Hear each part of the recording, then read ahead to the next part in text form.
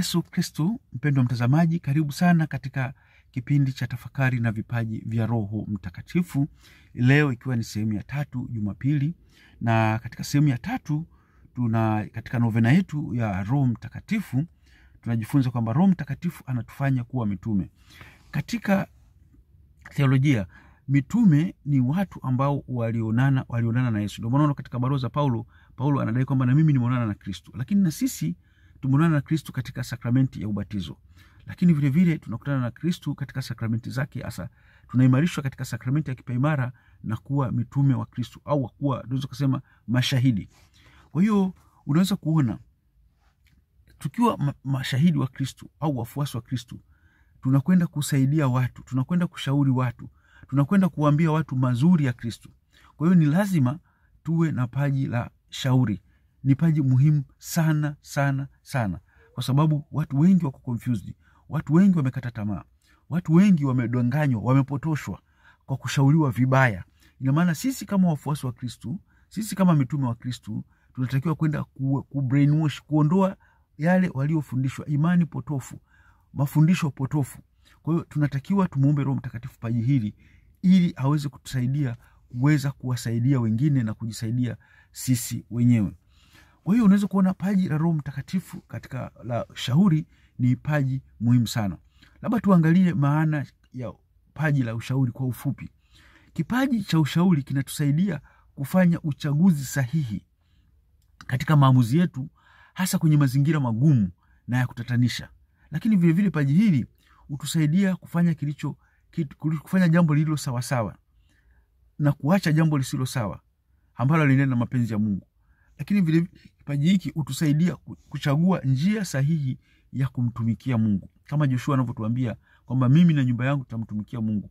Kwa hiyo na sisi paji hili linatusaidia kuweza kum, kumpenda Mungu na kumfata Mungu na kuchagua maisha ya kumtumikia Mungu. Au unaweza tukasema kipaji hiki kinatusaidia roho zetu with supernatural prudence. Tunapozungumza prudence, maana yake nini? Prudence ni ability, yani ni uwezo wa kufikiri, ni uwezo wa kufanya maamuzi kwa kureason zaidi ya hisia. Hatufanyi hisia tu, lakini unatumia na reasons, unatumia na fact, ndio tunasema prudence. Kwa hiyo uwezo wa kujiongoza wenyewe na vilevile vile kutumia akili, lakini vilevile ni uwezo wa kuchagua yaliyo mema katika mazingira magumu, lakini na kuweza vilevile kuwaongoza au kuwashauri wengine. Unaweza kuona paji hili la shauri linatusaidia mambo mengi. Kwa mfano, linatusaidia kujua jambo, jambo jema au jambo baya, inatusaidia kufanya jambo jema au zuri, inatusaidia kufanya moral decisions, yani maamuzi ya kimaadili. Kwa mfano kama sasa hivi wazazi, ambapo kanisa Katoliki linafundisha maadili mema hasa katika mpango wa uzazi. Sitaki kwenda details, ni hapa nadhani nikizungumza hivyo watu wananielewa, lakini vilevile inatusaidia kujiongeza na ku, eh, kuji, natusaidia kujiongoza, lakini na vilevile kuongoza wengine. Kwa mfano nyanja kama hii, walimu wanahusika. Walimu wanafundisha wanafunzi, lakini vilevile walimu wanafundisha watu maadili mema, wanaongoza watu, lakini hasa wazazi. Wazazi wanatakiwa kuwa na paji hili sana, kwa sababu wazazi wana wajibu wa kuhakikisha watoto wao wanamjua, wanampenda Mungu na wanaishi maisha mazuri. Lakini mapadri, watawa na watu wote ambao wamejitolea kumfuasa Kristu wanatakiwa kuwa na paji hili, kwa sababu ni paji ambalo halitawasaidia wao, lakini litasaidia vilevile kuongoza wengine. Unaweza kusema ni practical gift. Ni kwa sababu gani? Maisha yetu ni maisha ambayo yametawaliwa na maamuzi. We always make choices katika maisha yetu. Maanake katika philosophy tunaambiwa kwamba a thing cannot be and not be at the same time. Maanake kitu hakiwezi kuwa A na B kwa wakati mmoja, aidha kinakuwa A au kinakuwa B. Maanake nini? Maanake ni kwamba maisha ni lazima uchague. Hauwezi kuishi maisha mazuri na mema at the same time, ni lazima unachagua kitu kimoja. Kwa hiyo karama hii ya kipaji, karama hii ya kipaji cha shauri itatusaidia sana katika kumtumikia Mungu, katika kufanya maamuzi sahihi, katika hata kuweza kuwashauri wengine. Paji la, la shauri hutusaidia kuchagua vilevile njia sahihi katika maisha sahihi ya kumtumikia Mungu kama anavyotuambia Kristu katika Injili ile ya Mathayo sura ya saba mstari wa kumi na tatu hadi wa kumi na nne tano kuu anasema, ingieni kupitia mlango ulio mwembamba, maana mlango mpana na njia ni pana iendayo upotevuni, nao ni wengi waingiao kwa mlango huo. Mwisho wa kunukuu. Kwa hiyo unaweza kuona paji la shauri linatu ambalo Kristo anatupa kwa kupitia Roho Mtakatifu linatufanya kwamba tu, tunapomtumikia Mungu twende njia gani? Twende njia, twende kwenye comfortable zone, yani maisha tuliyozoea, au twende katika maisha ya kujikana nafsi, maisha ya kumpenda Kristo, ambayo ndio maisha sahihi. Kwa hiyo paji hili la shauri linatusaidia. Kwa hiyo shauri jema inatupa experience ya kimungu. E, Roho Mtakatifu anapotupa shauri jema, karama ya shauri jema ni karama ya experience ya kimungu katika kusovu na kutatua matatizo. Kwa lugha nyingine unaweza kusema right judgment, maamuzi ambayo ni sahihi. Wengi wanakuwa wamefeli katika maisha yao kwa kufanya wrong choice. Wrong choice maanake ni maamuzi ambayo hayakuwa sahihi. Inawezekana ulidanganywa na mtu, ukaolewa na mtu ambaye si sawa. Alikudanganya kwa pesa, labda ukamuona ni mtu mwema, ukafuata pesa zake, ukamwacha labda mtu ambaye alikuwa ni mwema, alikuwa anakupenda, lakini kwa sababu haukuwa na right, haukuwa na maamuzi sahihi, haukuwa na ushauri sahihi, ukafanya maamuzi mabaya, bado unaweza kumwomba Roho Mtakatifu akanyoosha pale ulipokosea. Lakini inawezekana umechagua, unafanya kazi au wito ambao sio wako, unaona you are not comfortable, pengine ulichagua wrong choice. Vile vile una muda wa kumwomba Mungu akusaidie kuwa na maamuzi sahihi, kuwa na jambo sahihi. Kwa mfano, twende katika maandiko, tunamwona Daudi wakati akiwa mdogo anafanya maamuzi sahihi ya kumsaidia Sauli. Tunaona Sauli mfalme wa Israeli ana changamoto ya Goliati Mfilisiti ambaye anawatukana Waisraeli, anawadharau Waisraeli, lakini anatokea Daudi e, ambaye anamshauri Sauli kumsaidia, ingawa Wayahudi wanakuwa na mashaka kwamba huyu ni kijana mdogo, atawezaje kupambana na huyu? Akienda huyu pengine atamuua, atamharibu. Lakini kwa sababu Daudi ana kipaji cha shauri cha Roho Mtakatifu, aogopi, anamwendea mfalme na kumwambia. Ukisoma, tunasoma katika tunasoma katika kitabu cha kwanza cha Samueli sura ile ya kumi na saba mstari wa thelathini na saba tanukuu, Daudi akasema, Bwana aliyeniokoa na makucha ya simba. Daudi anakumbuka experience ya kimungu, na makucha ya dubu ataniokoa na mkono wa mfilisiti huyu ambaye ni Goliati. Sauli akamwambia Daudi, enenda na Bwana atakuwa pamoja naye. Unaona, Daudi anamwambia Sauli, lakini anamshauri Sauli jinsi atakavyoweza kumkomesha huyu mtu, lakini kwa sababu Daudi Daudi anamwamini Mungu, ana confidence ya kimungu, kwa hiyo haogopi. Confidence hiyo inamfanya mpaka Sauli amwamini eh, eh, naona mpaka Sauli anatambua ile karama ya Daudi, anamwamini na Daudi anaweza kuwasaidia wa wa Israeli katika mazingira yao magumu. Tunasoma vilevile, tunaona ambavyo Daudi, tukisoma katika kitabu cha kwanza cha Samueli sura ya kumi na saba mstari wa arobaini na tano tunaona ndipo Daudi akamuomba yule Mfilisiti, akamuomba yule Mfilisiti, anamwambia wewe unanijia mimi na upanga na fumo na mkuki, bali mimi ninakujia wewe kwa jina la Bwana wa majeshi, Mungu wa majeshi ya Israeli uliowatukana. Mwisho kunukuu. Nimependa hii neno. Daudi ana, ana experience ana, ana, ana, ana shauri jema, ameshaona experience ya Mungu, amefanya maamuzi kwamba Mungu jina lake lina nguvu, jina lake na na nguvu zake hazina mashaka. Anamwambia bali, unaona shauri la Daudi, anamwambia bali mimi ninakujia kwa jina la Bwana wa majeshi, Mungu wa majeshi ya Israeli. Unaona hapa da, uta, ukiendelea kusoma kitabu cha kwanza cha Samueli utaona Daudi anapambana na Goliati e, anarusha jiwe dogo linampiga kichwani pale, Goliati anaanguka, Daudi anakwenda na upanga anamkata. Kwa hiyo anakuwa amekata mzizi wa fitina, anakuwa amewaheshimisha Waisraeli. Ndilo tunasema paji la Roho Mtakatifu ambalo tunamuomba Roho Mtakatifu atupatie mimi na wewe mm. Kwa hiyo shauri jema kwa ajili ya manufaa, lakini mapaji ya Roho Mtakatifu yanakuwa ni mapaji kwa ajili ya watu, sio kwa ajili yetu. Kwa mfano, ukiangalia Daudi anajisahau baadaye, anapokuwa mfalme anajisahau, e, anakuwa idol, anakuwa tena hafati shauri la Mungu, anafata matakwa yake. Na uki, katika maisha ya kiroho ukifata matakwa yako na nafsi yako, mwisho wa siku unaanguka. Tunaona anamtamani Bathsheba, e, mke wa Uria, anafanya makosa matatu. Kwanza anamtamani, pili anazini naye tatu anamuua mme wake kwa ajili ya kumpata yule mwanamke. Matokeo yake anadhoofisha utawala wake, unakuja kuona mpaka mwanae anakuja kumwasi, ingawa baadaye alikuja kutubu kama tunavyoangalia katika Zaburi ya hamsini na moja. Kwa hiyo kwa ufupi kwamba mapaji haya tunayopewa na Roho Mtakatifu ni kwa ajili ya sifa na utukufu wa Mungu, si kwa ajili ya ubinafsi wetu. Mara nyingi tunaona watu wanapata mapaji labda ya kuponya watu, wanayatumia kama biashara e, wanatumia kama biashara, na unaona wachungaji wengi ni matajiri sana wanapata pesa nyingi za maskini ambazo wengi wanazitumia kwa manufaa yao binafsi badala ya utukufu na sifa ya Mungu, kama walivyofanya watakatifu kama wakina Mtakatifu Francisco Asizi ambao walitumia walichokuwa wanapata kwa ajili ya watu, hawakutumia kwa binafsi. Lakini sasa hivi watu wanapewa vipaji na Mungu, vipaji vitakatifu, labda vya upomaji, labda anahubiri vizuri, labda anafanya, lakini wanaenda wanajisahau katika ubinafsi na kuweza kujilimbikizia mali na kuweza kusahau mapenzi ya Mungu kama ambavyo alifanya alijisahau Daudi. Kwa hiyo hiyo ni angalizo kwamba vipaji unavyopewa na Mungu au tunavyopewa na Mungu si kwa ajili yako, si kwa ajili ya kusifiwa, si kwa ajili ya kuonekana wewe ni nani, ila ni kwa ajili ya sifa na utukufu wa Mungu. Kwa hiyo tunaitakiwa Mungu anapokupa kipaji kuwa mnyenyekevu, kwa sababu si chako, wala ni zawadi ambayo unatakiwa kunyenyekea maisha yako yote na kwa umilele wote. Kwa hiyo tumuombe Mungu hatusaidie kama tunavyosoma katika kitabu cha Methali ambapo wanatuambia kuhusu ushauri mwema. Ukisoma kitabu cha Methali sura ya kumi na tisa mstari wa ishirini hadi wa ishirini na moja tanukuu, anasema sikiliza mashauri ukapokea mafundisho, upate kuwa na hekima siku zako.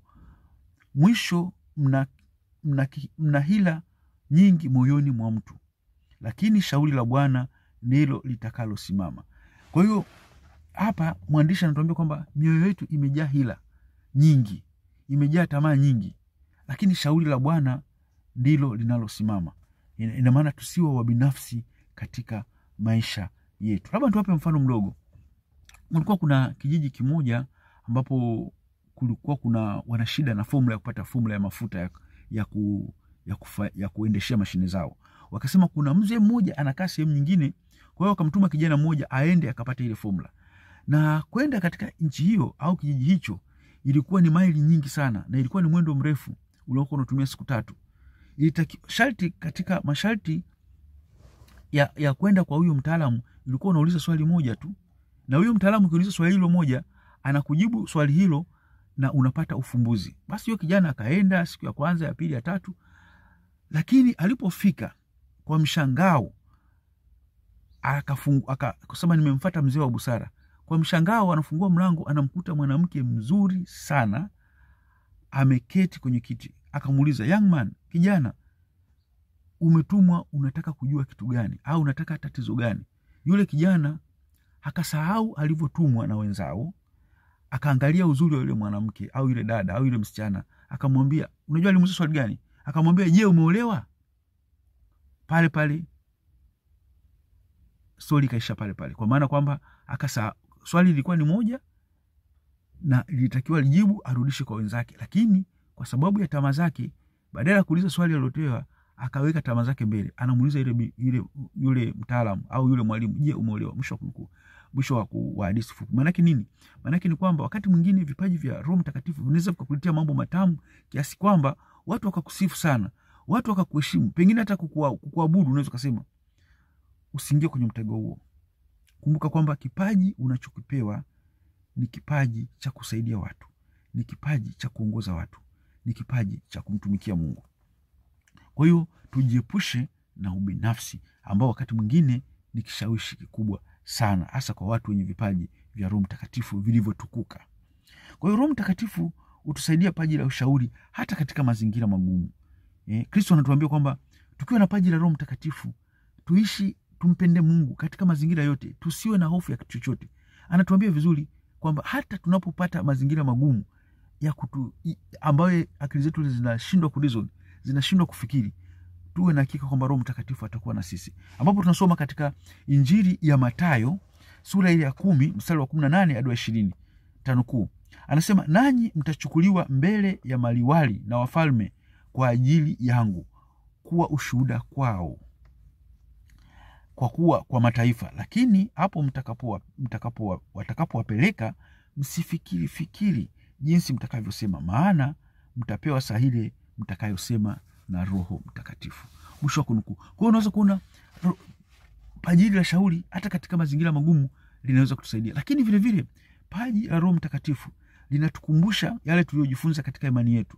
Wakati mwingine katika imani yetu kutokana na maisha yetu ya dhambi tumesahau maadili ya kikristo tumesahau mafundisho ya kikristo tumesahau mafundisho ya watakatifu tumesahau mafundisho ya mababa wa kanisa tumesahau hata kulitii kanisa takatifu katoliki la mitume limeanzishwa na kristu kwa sababu ya dhambi kwa sababu ya mazingira yetu. Lakini roho huyu anatukumbusha yale tuliyosahau. Licha ya tuliyosahau anatufanya vilevile tuyafate. Tunasoma katika injili ya yohana sura ya kumi na nne mstari wa ishirina sita. Anasema lakini huyo msaidizi huyo roho mtakatifu ambaye baba atampeleka kwa jina langu atawafundisha yote na kuwakumbusha yote niliyowaambia. Mwisho wa kunukuu. Kwa unaweza kuona ni muhimu sana kwa paji hili la shauri kwamba wakati mwingine tunasahau tumejifunza mambo ya mungu tunasahau. Lakini hata yale maadili pengine tumempa nadhiri mungu kuishi maisha mema lakini tumepata mema mazuri tukasahau tukaingia katika malimwengu na kusahau yale ambayo tulimwahidi mungu na kusahau ahadi zetu za ubatizo. Kwa sababu katika ubatizo tuliahidi kwamba tutamkataa shetani na mambo yake yote na fahari zake zote. Lakini sasa hivi tunaishi katika fahari za kishetani katika mali za udanganyifu mali za wizi mali za rushwa na kadhalika. Tumesahau ma, maagano yetu ya ubatizo. Lakini roho mtakatifu anapokuja anatukumbusha maagano ya ubatizo. Anatukumbusha mimi na wewe tuliahidi kumkataa shetani tuliahidi kumkataa na mambo yake yote na hila zake zote. Lakini tuliahidi kukumbuka kufata mafundisho ya yesu kristu. Tuliahidi kumtumikia kristu katika shida katika raha na hata kutoa nafsi zetu kwa ajili yake. Kwa hiyo roho huyu hutufundisha yaliyo mema na kutukumbusha kuacha yaliyo mabaya ambayo tuliahidi katika ubatizo wetu. Kwa unaona kwamba paji hili la, la roho mtakatifu hutusaidia. Lakini vilevile paji hili linawasaidia wale walimu ambao wanaongoza watu linasaidia wazazi na watu mbalimbali lakini mpendo mtazamaji paji la roho mtakatifu alitegemea umesoma filosofi kiasi gani alitegemea umesoma theoloji kiasi gani. Roho mtakatifu anakupa. Nitakupa mfano mmoja. Mtakatifu teresia sorry mtakatifu catherine wa siena. Huyu mtakatifu catherine wa siena nitakusimulia kidogo. Huyu mtakatifu catherine wa siena alizaliwa tarehe ishirina tano mwezi wa tatu mwaka elfu moja mia tatu arobaini na saba itali katika utoto wake aliweka nadhiri kwamba atakuwa bikira. Ingawa alizaliwa katika familia tajiri familia ya kifalme alikataa kuvaa mavazi mawili, ma, mazuri na wazazi wake walimtaka aolewe. Walimletea wachumba wengi lakini alikataa. Kwa sababu alikata shauri la kumtumikia kristu katika ubikira wake katika utawa. Na mungu alimbariki akafanikiwa akawa mtawa. Huyu mtakatifu akujua kusoma na kuandika. Lakini leo ni mwalimu wa kanisa. Tunasema doctor of the church. Ni wanawake wachache sana ambao ni walimu wa kanisa. Kwa mfano tuna mtakatifu teresia wa avila mtoto yesu. Tuna mtakatifu Cather- mtakatifu Teresia wa, wa, wa, wa mtoto Yesu, lakini tuna mtakatifu Teresia wa Avila ambao tunasema hawa ni walimu wa kanisa. Pamoja na huyu tuna mtakatifu Catherine wa Siena. Huyu hakujua kusoma na kuandika, lakini alikuwa na paji la shauri. Tutaona alikuwa na paji la shauri, lakini vilevile mtakatifu huyu kwa sababu alimpenda Yesu sana, Yesu alimpa zawadi. Alikuwa na mazawadi ya madonda matano kama vile mtakatifu Padre Pio, mtakatifu Francisco Asizi alikuwa na madonda matano. Ni zawadi kubwa ambayo Kristo anaweza kukupa, madonda matano. Of course anakupa na zawadi nyingine, lakini huyu alikuwa na madonda matano ya Yesu. Hakuwa na majivuno eh, alikuwa mnyenyekevu sana, lakini vile vile kwa sababu alimwahidi Yesu ataishi ubikira. Yesu alimpa pete ya dhahabu ambayo hakuona mtu yoyote, lakini aliweza kuiona yeye peke yake. Anyway, tuende katika mambo mam- aliyoyafanya. Sitaki kuzungumza mambo mengine aliyoyafanya katika tunamwita mwalimu wa kanisa. Kwa nini Unamwita mwalimu wa kanisa? Kwa sababu aliweza kuwashauri mapapa wakati wake ambao hawakukaa sawa. Kwa mfano mwaka elfu moja mia tatu sabini na saba alifanikiwa kumshauri Papa Grigori wa kumi na moja aliyekuwa amehama Avignon, amehamia Ufaransa, akamshauri arudi Roma. Eneo ni stori ndefu, lakini kwa ufupi ni kwamba huyu mtakatifu mtakatifu Catherine wa Siena aliweza kumshauri papa akarudi Roma, kwa sababu aliondoka akaenda Ufaransa kutokana na ushawishi wa wafalme na nini, akawa amesahau misingi ya, ya kanisa. Lakini huyu mtakatifu, mwanamke mdogo, binti mdogo, anamshauri baba mtakatifu na baba mtakatifu anamtii kwa sababu alikuwa na paji la Roho Mtakatifu. Lakini tunaona pia aliweza kumshauri Papa Albano wa sita aliyemrithi Papa Grigori wa kumi na moja alimuita na kumtaka aishi kwenye makao yake Roma. Vilevile aliweza kuwapatanisha wafalme e, wafalme. Unaweza kuona kwamba paji hili sio lazima mtu awe amesoma theology na philosophy, lakini Mungu anaweza akamkirimia mtu kama vile alivyomkirimia mtakatifu Catherine wa Siena, mtakatifu Catherine wa Siena. Kwa hiyo lakini mtakatifu Catherine wa Siena alikuwa na mashauri mbalimbali. Labda nikupe shauri moja ambalo alipenda kuwashauri watu siku nyingi. Mtakatifu Catherine wa Siena alizoea kusema na kushauri, anasema hivi, tanukuu, anasema usitafakari juu ya dhambi zako ulizozitenda hapo zamani, isipokuwa kama una lengo la kutafakari juu ya huruma ya Mungu, ili kumbukumbu ya dhambi za zamani zisije zikakukatisha zika tamaa, bali zikufanye ujiaminishe zaidi kwa Mungu na kuona zaidi thamani ya mateso ya Yesu yaliyostahilisha kupata msamaha wa dhambi. Kwa hiyo alifundisha watu kutafakari kuacha dhambi na aliwafundisha watu kutafakari mateso ya Kristu ambayo aliwafanya watu kujutia na kuacha dhambi zao. Lakini vile vile ili tuweze kuwa na paji hili la shauri, kuna mambo ambayo tunatakiwa tuyafanye au tu kwanza kabisa tunatakiwa tumwombe Mungu paji la shauri kama tunavyo tulivyoona kwamba kumwomba Mungu katika paji hili. Katika kitabu cha Mithali tumeona jinsi ya kumwomba Mungu shauri la, la nani, kumwomba shauri, kumwomba Mungu shauri, paji la shauri atusaidie. Kwa hiyo kitu cha kila kila kitu tunatakiwa tumuombe Mungu kama tunavyomwomba Roho Mtakatifu. Kwa mfano kama kitabu cha Methali sura kumi na tisa mstari wa ishirini hadi ishirini na moja mwandishi anatuomba tuombe kipaji hiki, lakini vile vile pamoja na kumwomba Mungu paji hili la karama, inatakiwa vile vile tujifunze kusoma neno la Mungu na kulitafakari. Sio kusoma tu, lakini kulitafakari na kuliishi, kama anavyotuambia Paulo katika waraka wa pili wa Timoteo sura ya tatu mstari wa kumi na sita ntanukuu, anasema kila andiko lenye pumzi ya Mungu lafaa kwa mafundisho na kwa kuwaonya watu makosa yao na kuwaongoza kwa kuwaadilisha katika haki. Mwisho kunukuu. Kwa hiyo huwezi kuwafundisha watu kama wewe ulijui neno la Mungu, kwa sababu neno la Mungu linawaonya watu neno la Mungu linawaongoza watu, neno la Mungu linawatakatifuza watu. Kwa hiyo ni lazima ujifunze na kuliishi neno la Mungu ili uweze kuwa mshauri mzuri, ili uweze kuwashauri watu, ili uweze kuwaonya. Unaona, kwa sababu neno la Mungu linaonya. Utaonyaje watu wakati neno la Mungu ulijui na wakati uliishi? Kwa sababu vinaenda vitu viwili, neno la Mungu uliishi, neno la Mungu ulipende, ili uweze una, kama unaongea kuhusu maji, unaongea maji Usiongee maji alafu unaishi divai, au usiongee divai unaishi maji. Au vivyo tunasoma vivyo kitabu cha Yoshua sura ya kwanza mstari wa nane anasema kitabu hiki cha Torati kisiondoke kinywani mwako, bali yatafakari maneno yake mchana na usiku, upate kuangalia kutenda sawasawa na maneno yote yaliyoandikwa humo, maana ndipo utakapoifanikisha njia yako, kisha ndipo utakapostawi sana. Unaona anatuambia nini Yoshua? Kwamba tunapotafakari neno la Mungu tuliishi vilevile, tuliishi vilevile eh, eh, tuliishi tuliishi tunachokiandika tunachokisoma, tuishi tunachofundishwa. Kwa hiyo hilo jambo, lakini jambo la pili au unaweza kusema ni kufata na kufa, kufata na kutii mafundisho ya kanisa takatifu Katoliki la mitume lililoanzishwa na Kristo mwenyewe. Nasoma katika Injili ya Mathayo sura ya kumi na nane mstari wa kumi na nane nasema, amin nawaambia, yoyote mtakayo yafunga duniani yatakuwa yamefungwa mbinguni, na yoyote mtakayo yafungua duniani yatakuwa yamefunguliwa mbinguni. Kwa hiyo utii kwa kanisa ni jambo la maana, utii kwa kanisa, kwa sababu kanisa linaongozwa na Roho Mtakatifu na Kristu ndio aliweka misingi hiyo kanisa takatifu, amejenga kanisa. Anasema wala milango ya kuzimu haitalishinda. Kwa hiyo ukitaka kushindana na kanisa utashindwa kama milango ya kuzimu ilivyoshindwa. Kwa hiyo unatakiwa tuwe wanyenyekevu na watii, na kanisa, wakili wetu ni Baba Mtakatifu, ana maaskofu wake, ana mapadri wake na watu viongozi mbalimbali, watawa, makatekista na nani, hawa wote ni Kristo wamewaweka, ambao wanatuongoza, wanatushauri. Lazima tuwatii kwa sababu wanaongozwa na Roho Mtakatifu. Lakini vilevile kufata mafundisho ya mababa watakatifu, tunasema encyclicals. Mababa watakatifu mara nyingi wanatoa nyaraka mbalimbali katika kutuongoza au kutoa nyaraka mbalimbali katika kuweka fundisho sahihi ambalo litakuwa limepotoshwa.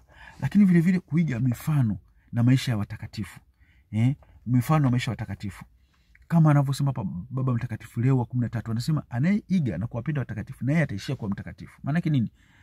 Watakatifu ni models wetu, ni stars wetu, wanatufundisha, wanatuinspire, wanatufanya tusikatike moyo, wanatufanya na sisi tukazane, kwa sababu wenyewe waliishi maisha haya ambayo tunayaishi.